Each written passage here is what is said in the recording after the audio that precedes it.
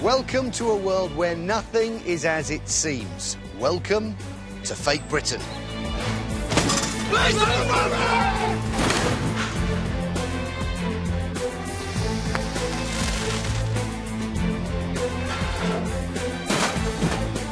Get on! Get out! Put your hands behind your back now! Here at the Fake Britain House, we'll reveal the fakes that are flooding the market, conning people like you and me and making money for the criminals. We'll investigate the fraudsters who are selling us something that isn't real and could be dangerous, and we'll help you avoid falling for a fake. Today on Fake Britain. The fake and dangerous fuses sold on the high street. We've seen plugs actually explode, uh, which can can expose people to electric shock. The fake reviews that ruined one boy's Christmas. We waited and we waited and nothing came. To him, it was like the end of the world. He was devastated about it. We're on the front line with a private detective taking down the fakers. fake bags, jewellery. This is a shop that's openly selling fake goods. And document detectives, the Home Office unit uncovering fake IDs. It's like the forger's signature. It's an error that he's made in every single one of the fake documents.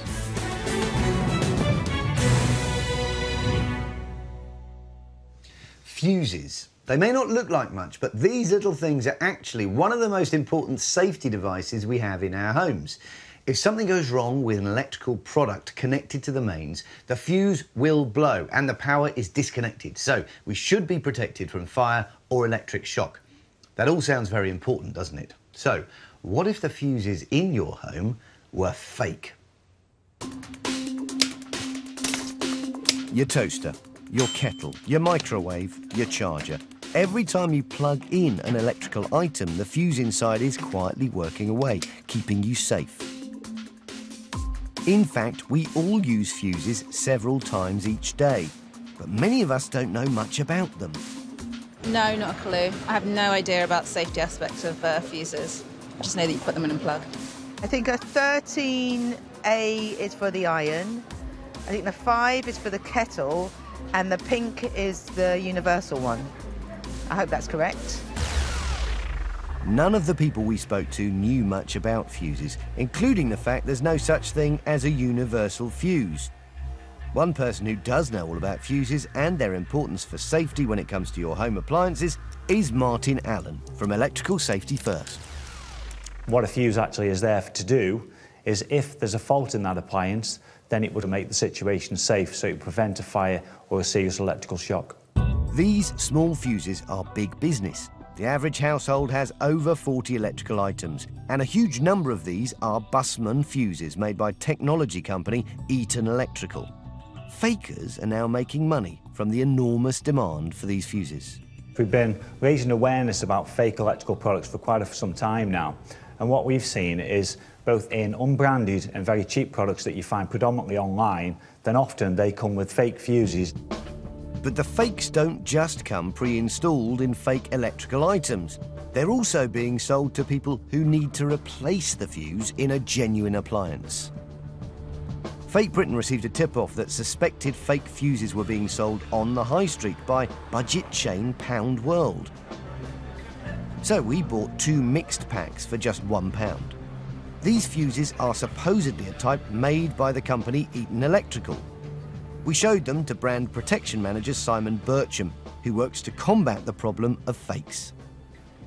Eaton has been a leader in fuses for over 100 years. And like any other product that's of high um, esteem and regard, um, it, it's of a target for, for counterfeiters because they look for a product that's highly recognised. Eaton Electrical examined the fuses sold by Pound World and confirmed they're definitely fake and quite possibly dangerous. If we think about the fuse industry, companies spend millions of pounds in research and development to produce safe products. And counterfeiters don't care about the quality of products, they don't care about the, the, the safety of products. To find out more about the fake fuses Pound World sold, we took them to Graham Mackay at the British Standards Institution, which sets the safety standards for electrical items. So in my left hand, I have a fake fuse. In my right hand, I have a genuine fuse. I've been in the industry for over 30 years. Um, I can't tell the difference between them. With the fakes so similar externally to the real thing, there's only one way to tell the difference. Graham will need to look inside. First, he cracks open a genuine one. This is a good fuse, it's surrounded by sand. So the sand fulfills two functions. First of all, it insulates some of the temperature effects from the body of, of the fuse, and it also damps out any explosive force you might get in the event of a, a significant electrical fault. But what's inside the fake? We can see a counterfeit fuse has no sound present. A really important design difference. The fakers are cutting corners by not putting sand in fake fuses. And by doing this, they're putting users of electrical appliances in danger. In the event of a very large fault current, which you might have if you had a, I don't know, a short circuit on your washing machine, for example, the fuse will actually explode. The sand damps that out, typically, and prevents that explosion from creating havoc with the plug itself. None of the fakes we bought at Pound World had any sand in them. Absence of sand, we've seen plugs actually explode, um, which can, can expose people to electric shock.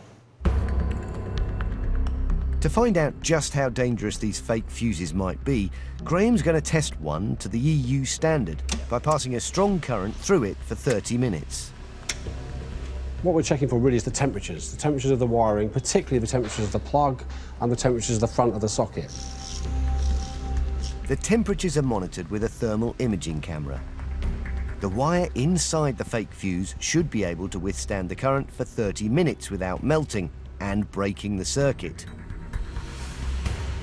But after just 15 minutes, it's game over. The fake fuse has failed. It should have lasted 30 minutes under that condition. You know, it's failed to do its job. The wire inside the fuse disconnected before it should. As well as leaving out the sand, the fakers are using inferior materials. This is an unreliable fuse that might break down before a fault even occurs, or not break the circuit when it needs to. Graham also tested another fake fuse we bought from Pound World, with more dramatic results. Here's one we tested earlier. In this case, the fuse carried on operating for the 30 minutes, and, and the plug got extremely hot, leading to some melting of the plastic here. You can see the, the burning that's taken place inside. That could lead to the plug coming apart, um, exposing you to electric shock. Looking at the socket, the pin of the socket has actually burned and charred here. Yeah, that could easily lead to a fire. Tests on other fake fuses have had more catastrophic results, like this explosion that was caused by a lack of sand in the fake fuse inside the plug. We showed footage to members of the public to see what they made of it. Oh my gosh, that's awful. It's literally like exploded off the wall. And that could happen like at any time, like that's that's really terrible. Like it's really dangerous. I'm just shocked. It's actually quite horrendous and really quite scary. It will blow up, it will kill everybody in the house. I'm really disappointed that somebody would actually sell them in such mass production, considering that the damage it could do. As a result of Fake Britain's investigation, Pound World was informed. They immediately issued a recall of the fake fuses. Pound World told us, we urge any customers who may have purchased these fuses to stop using them immediately and return them to their local store for a full refund or exchange. We're now conducting a full review to understand how these counterfeit fuses made it onto our shelves and to ensure that such items are not sold again. All Bussmann fuses on sale in our stores now are genuine.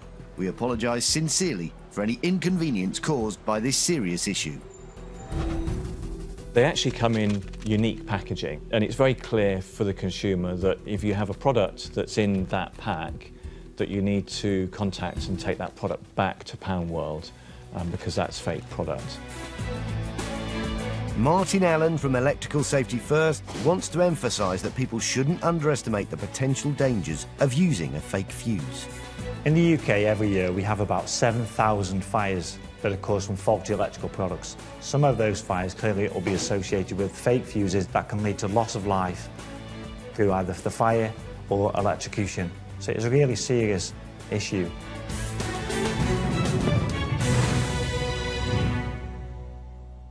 Are you a savvy online shopper? Do you do your research on a business you might buy from, like checking up to see if they have positive reviews from satisfied customers? That sort of information is very reassuring. It makes it less likely you're going to have a problem, doesn't it? Well, you may have to think again. As Fake Britain has been discovering, it's not only fake products you have to be careful about, it's fake positive reviews on websites too. We spend more money online per head than any other developed country.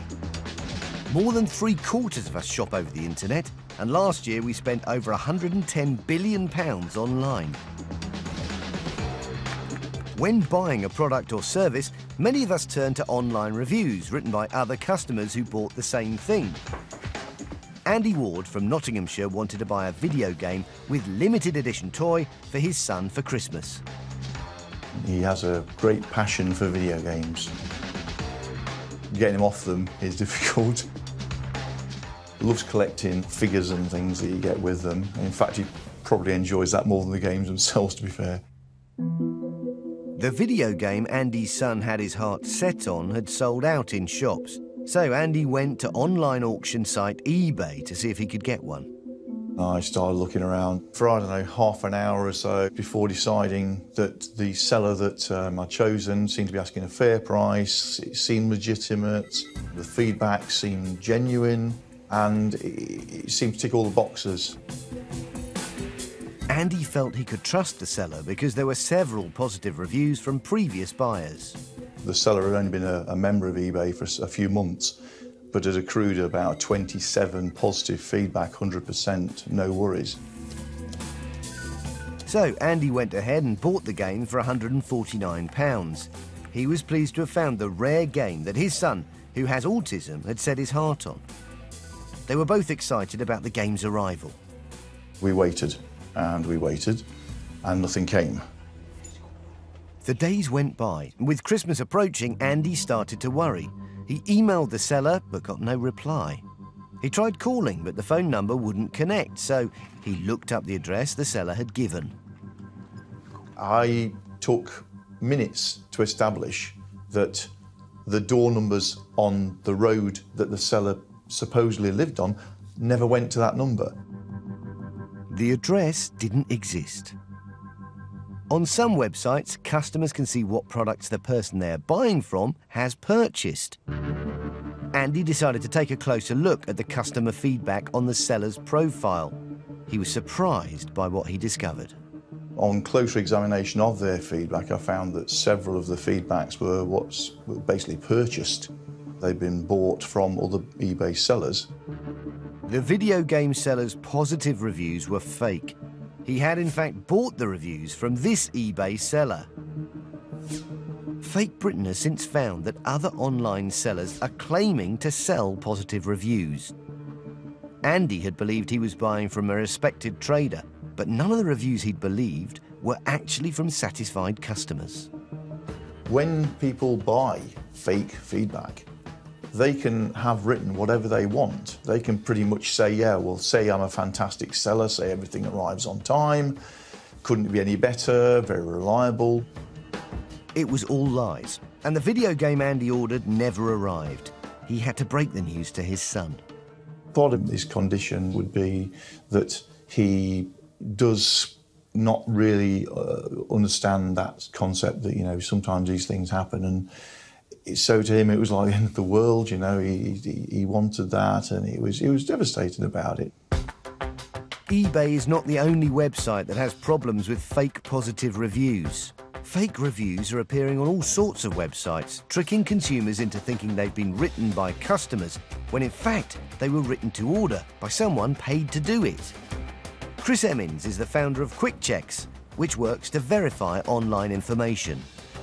Every bit of research we've seen over the last few years and the investigations we've conducted ourselves show that online reviews are one of the ways you can most influence uh, consumers to buy products.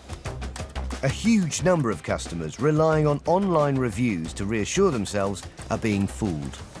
On a daily basis, we are contacted by consumers that say they only bought the supposed goods because of the reviews they saw online. I think it's fair to say that there must be literally millions of consumers falling prey to this sort of deception on a daily basis. Some fake reviews are used by real companies to make their genuine product or service appear more attractive. But fake reviews are also used by fraudsters to convince shoppers to buy products that don't even exist, which is what happened to Andy. With that degree of influence, it was obvious that fake businesses and fake online sites were going to use fake reviews to dupe consumers. But give your details to these fakers, and you might lose more than you bargained for.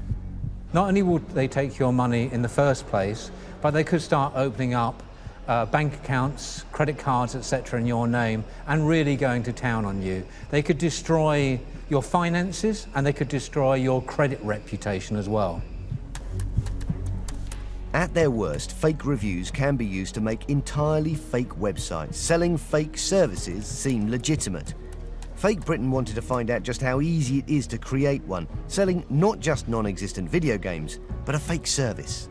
So we asked Chris to build one that could entice people to give over some of their most sensitive personal data.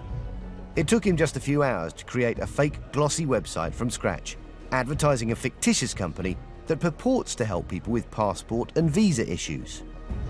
Here's one we made earlier. What you'll see on it is a very credible looking website.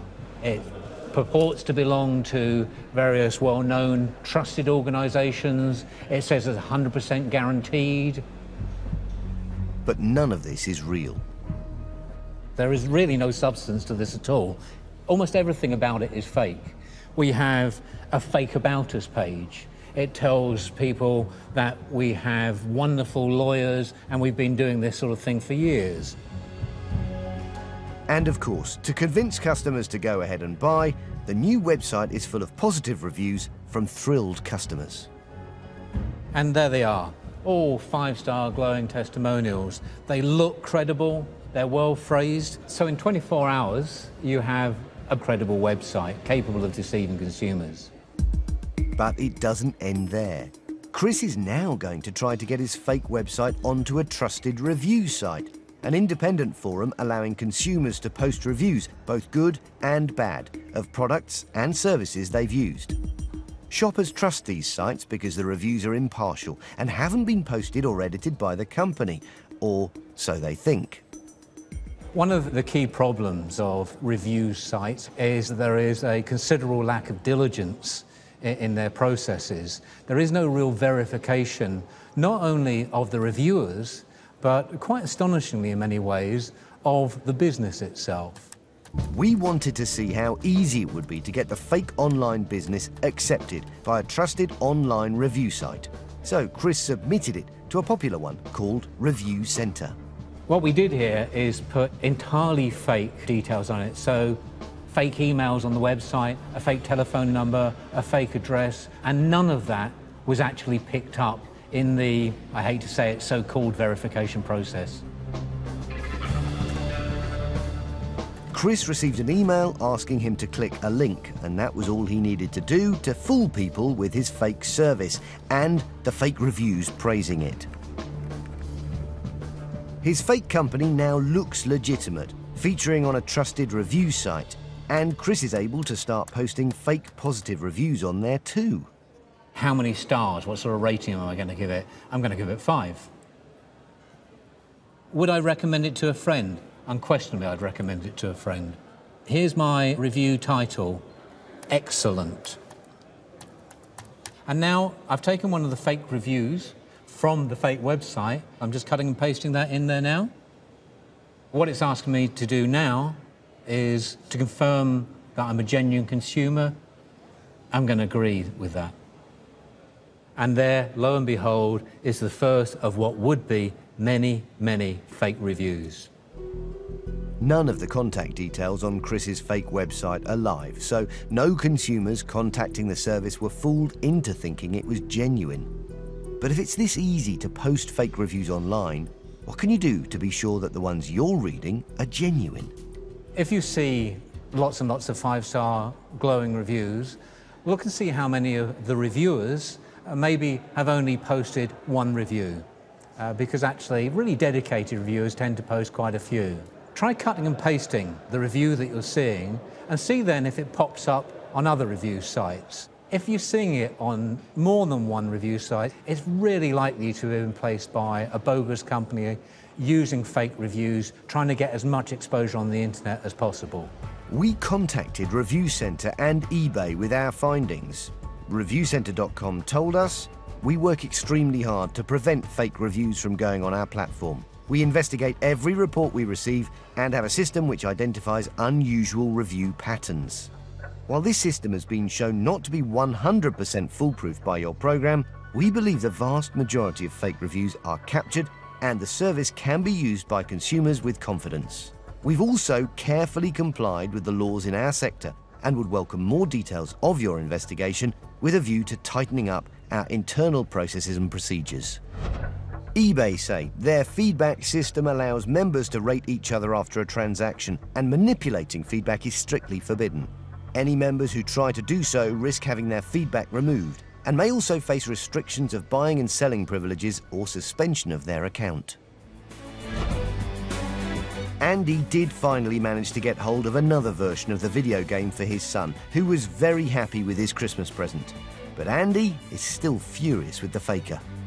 It just made me feel really angry. It's the fact that you can have massive impact on family could be quite uh, quite difficult to deal with. To him, it was very very important.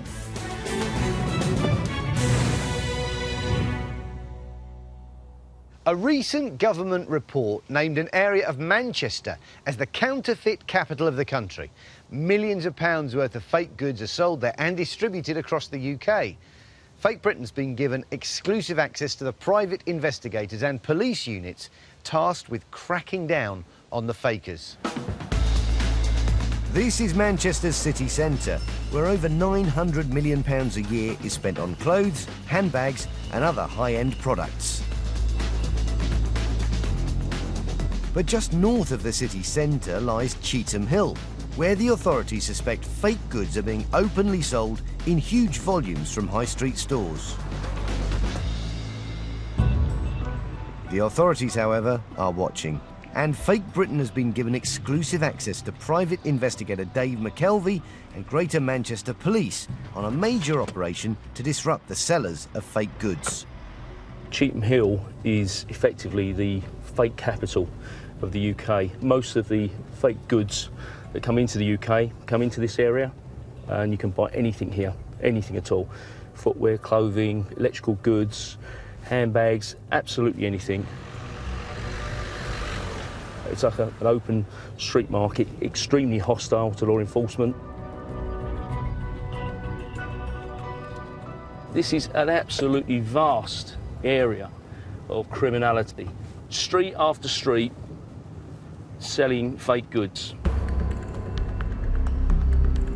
The sellers of fake goods employ an army of lookouts, also known as spotters. Spotters there. You've got spotters out on the street. Um, you can see two there, two more there, three, three on this corner. You see spotters in the doorways. Um, those spotters protect the premises so that if law enforcement um, come down here, the shutters go down immediately. If one premises gets raided, all the shutters go down all the other premises, close the whole area down. Uh, so they're all, they're all working together. This is an organised crime syndicate. Private investigator Dave has been working with Greater Manchester Police for six months.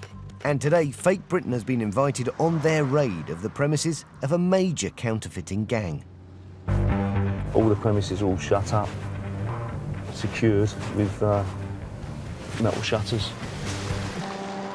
The shops are protected by steel shutters, but the officers have come prepared with heavy duty circular saws. It's time to hit the shops.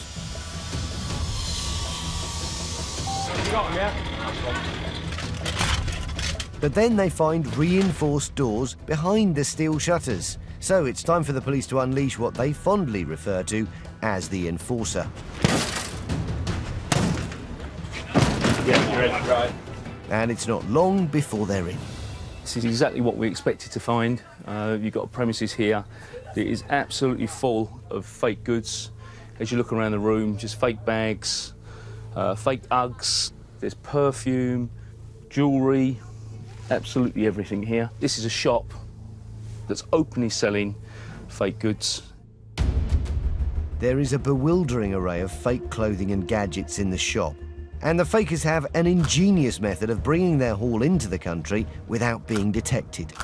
They're buying in bags that uh, don't have any labelling on. That way they can get them through customs without any problems. The tags that they put on, they generally get the, uh, the stuff shipped in untagged and then uh, the staff that they hire, they'll uh, tag it up in the shop. Sometimes they even use super glue. Just stamped in. Dave's got a shopping list of his own today, and this store isn't the only one he's planning to visit. Down the road, the circular saw is out again. They'll literally lock the whole place down the moment there's any police activity. We're now in, so we'll see what's inside this one. The lights are off in this shop, but Sergeant Darren Thomason still spots a fake. Clearly, there's uh, a lot more stock in this shop. Um, you're into the sort of tens of thousands of pounds worth of gear. From usually your North Face jackets all the way down to your sort of jewellery as well. It's a big shop, which will take officers a while to search. Oh my God. Darren's concerned about the safety of some of the fake products for sale in this shop, like these hair straighteners. You can tell the quality of these items are uh, that they're, they're not the real thing. They're, they're fake, and as you can clearly see there, it's got the uh, the approval stamping on there. But again, that's going to be fake. There's no way on this earth that that's the, the real McCoy. That you know these things can catch fire so quickly because they're not past the safety regulations. So yeah, they can certainly cause fires within the home. It's not just fakes that Darren's found. He's uncovered hard evidence of just how lucrative the fakery business is. This is the ledger you see. Cash takings here for uh, £7,000, £9,000, uh, just under £4,000, £10,424. This is all cash in hand. So a hell of a lot of money going through the door on a daily basis. While the officers continue their search, Dave decides to take a drive around the local area. He's surprised to see that for some of the shops, it's business as usual. Well, you've got huge police presence across the road. You've got a shop being searched, and there's people down that road still openly selling fake goods. I'll just reverse back again. Literally a hundred yards from where there's a police raid going on. It's completely lawless. It's like the Wild West. Police and trading standards have been seizing about a million pounds worth of fake stock every year from Cheetham Hill. Today's haul might push that figure even higher. Push this card up on this one. This box up there. Yeah, it's a box. The shops are literally packed to the rafters with fake merchandise. Oh, good catch. The ceiling space is crammed full of Lacoste trainers. Well, in this case, of course, low cost fakes. Janet Shaw, head of Manchester's Trading Standards, is delighted with today's haul of fakes. Well, it's all been seized as evidence, and obviously we'll be trying to get uh, prosecutions from this. And obviously, once the cases are over with, it will all be destroyed. We, we suspect it's organised crime groups that are involved in this, so the, the money could be being transferred out of the country to fund all sorts of activities. There's a huge container that's being loaded as we speak, so uh, yeah, massive amount of stuff. This operation is the culmination of months of hard work, and it's been a resounding success. So this is not small business. It's seven days a week, five to ten thousand pounds a day. This is vast, vast business. This is organised crime. So it's uh, a huge haul worth millions and millions of pounds. On this operation alone, Trading Standards and the police seized around £2 million worth of fake goods. Well, as you can see, uh, the vehicle, uh, we're still in the process of loading up from the various shops we've seized from. So uh, we anticipate that this vehicle will be pretty full by the end of today, and we've got another vehicle on standby as well to come down.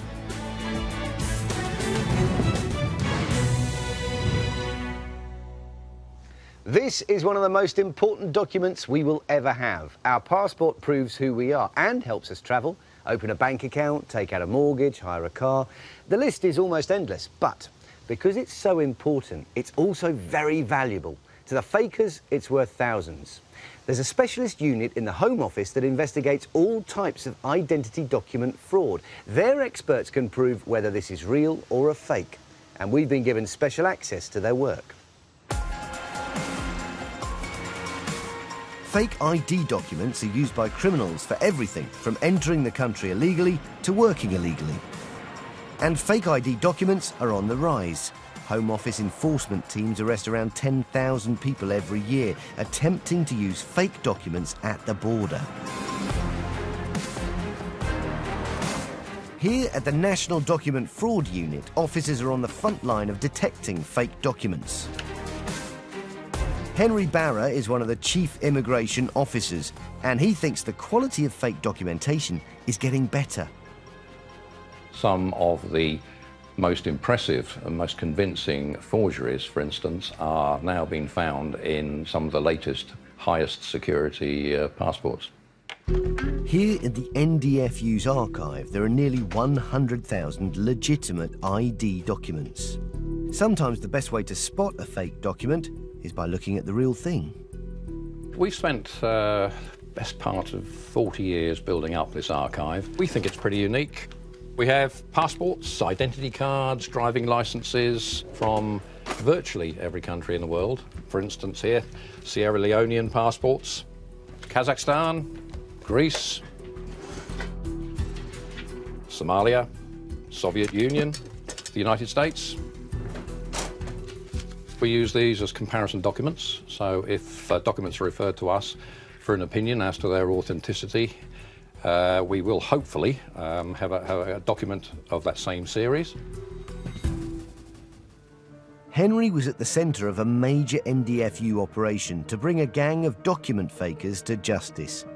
Operation Clawfoot targeted fraudsters who were selling fake passports to foreign students who were then using them in support of their applications to work in the UK. One of the documents submitted was found to be a counterfeit. A second document was subsequently submitted, and officers noticed a similarity between the two. They put out instructions to UK Visas and Immigration to say there seems to be a trend here, start looking out for these documents. And they started coming in in serious numbers. Officers finally traced the suspected fake passports to one address and raided the property. They were surprised by what they found. Paper was found there that's often used uh, to make counterfeit uh, documents, strongly suggesting that we discovered what was essentially um, the forgery factory. But it wasn't just fake passports that were on offer. For the right price, anyone could buy an entire fake identity kit. They came as part of a package uh, of a passport, Dutch passport, uh, Dutch identity card, uh, Dutch driving license, and various other papers. The prices that were being charged varied between seven and a half thousand pounds and eighteen thousand pounds, and that shows just how lucrative this operation could be. David Roberts is one of the NDFU's specialist document examiners. There seemed to be very little external difference between the fake passports that had been seized and the real thing. But Dave is trained to spot the subtle differences that might give fake passports away. This is an example of one of the fake Netherlands passports. On initial glance, they, they don't look too bad, but the closer you look, pages are slightly misaligned to the cover. If I hold it up to the light, I can see that there is no watermark present on this page. In genuine passports, you expect gold leaf that's stamped into the cover, whereas this one is much more flat, uh, it's not very metallic. David was suspicious of the passports, but there was only one way to be sure by comparing them under a microscope to genuine passports from the NDFU's archive. This is what a genuine Dutch passport is expected to look like. We're on 46 times magnification now. You can see that it's solid colour printing, the S is still well defined, whereas when we stick our fake document under, the S is much less defined. When they're lined up side by side, you can see the difference. The team also discovered that the passport fakers had made some tiny but crucial errors with their reproductions. One anomaly that we identified in every one of the fake passports. On the bio page, on the information page, uh, two letters incorrectly touched in a genuine document. We expect there to be a nice gap for the text to be well registered. It's like the forger's signature. It's an error that he's made in every single uh, one of the fake documents. We came across two documents at uh, the organised crime group's business address, and they also had this anomaly, which is how we were able to identify uh, that that is the source of the documents. The expert evidence provided by the NDFU was enough to get the passport gang convicted. The ringleader was sentenced to five years for conspiracy to assist uh, unlawful immigration, and their customers, uh, up to about 40, uh, have mostly been removed from the United Kingdom.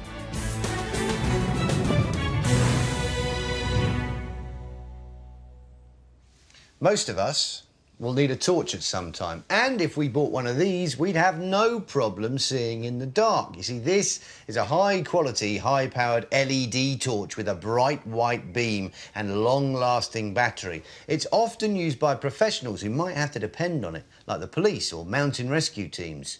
If you got stuck up a mountain at night with only this for company, though, you might have a few problems. As you might have guessed, we're here in the fake Britain house. And this is a fake. This is an LED or light emitting diode torch. The LED bulb is longer lasting, brighter, and more efficient than torches with older style incandescent bulbs, and it's becoming increasingly popular. LED Lenser is one of the leading brands of LED torch with patented reflector systems to make them even brighter. Tony Cutting from rural Rutland needed a powerful torch to help him and his wife get around their property at night. My wife has, is partially sighted. She has a brain tumour and uh, she has very limited vision.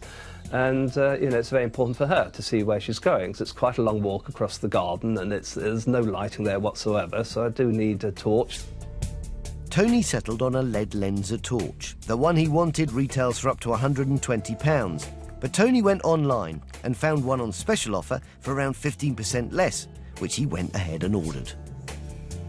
I unpacked it on Christmas Day and I was just impressed by the quality of it. There, there, was nothing about it that said fake. It looked really high quality, incredibly small, neat, and superb piece of engineering. Tony plugged in the torch to charge it up. The flashing light was on and I thought, right, it was just saying it's charging. But when I looked more carefully at the instructions, the flashing light said there's, a, there's some kind of fault with the charging system. Tony contacted the seller, who offered to send a replacement charger. But by now, Tony was suspicious and decided to make inquiries. I contacted the manufacturer with the serial number, and they wrote back and said, um, We don't recognise the serial number. We think it is a fake. Tony had bought a fake LED torch, and it was so bad, it didn't even switch on. I felt a bit foolish. I felt I should have been much more diligent in sorting out the doubt. I shouldn't have been trying to chase a 10 15% discount by buying off some seller off eBay. I felt I, I was just an idiot. Tony is one of many who has bought a fake LED torch. His was for personal use, but LED torches appeal to a wide audience, and many professionals rely on them to get their jobs done safely.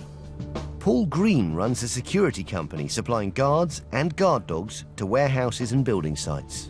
Most of our work is looking after construction sites, warehouses. We work dusk till dawn. You can meet quite a lot of unsavoury characters through the course of an evening patrol. We use good quality torches that we know are going to last, that we know are going to be bright. It's a critical piece of equipment. We can't afford for them to go wrong. Paul decided to replace his old torches with new LED Lenser torches.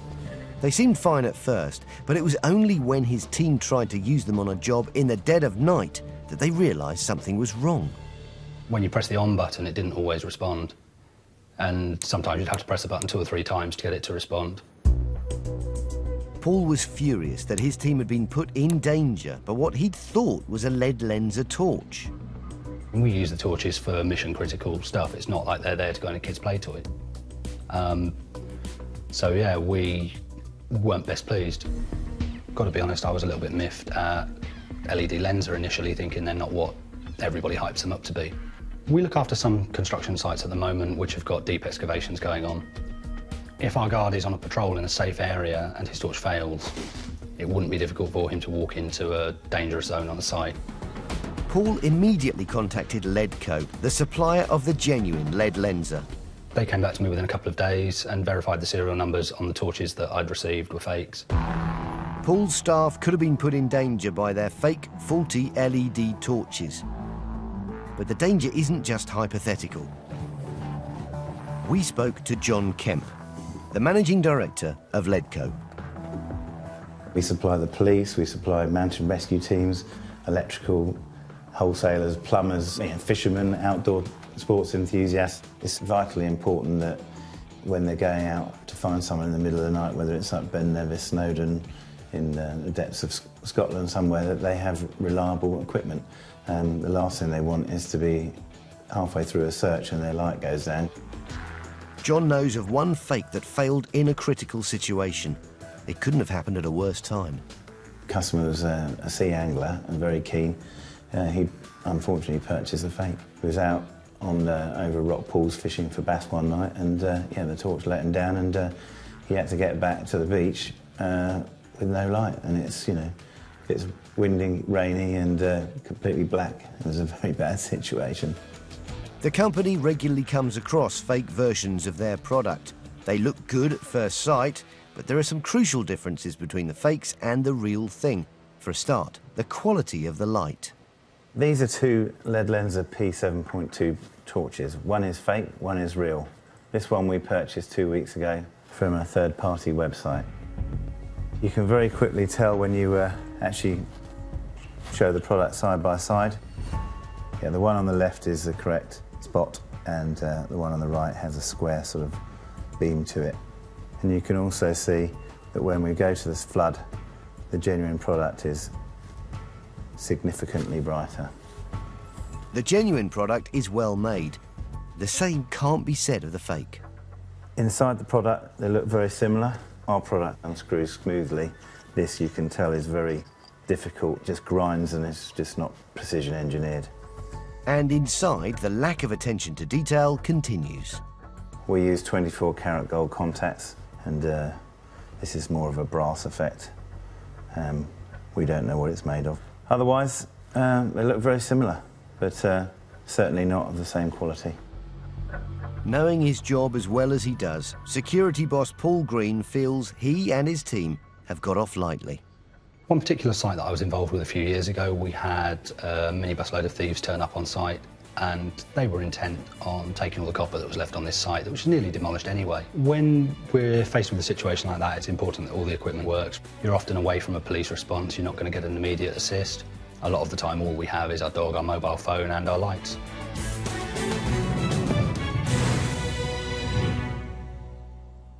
That's all from Fake Britain. Goodbye.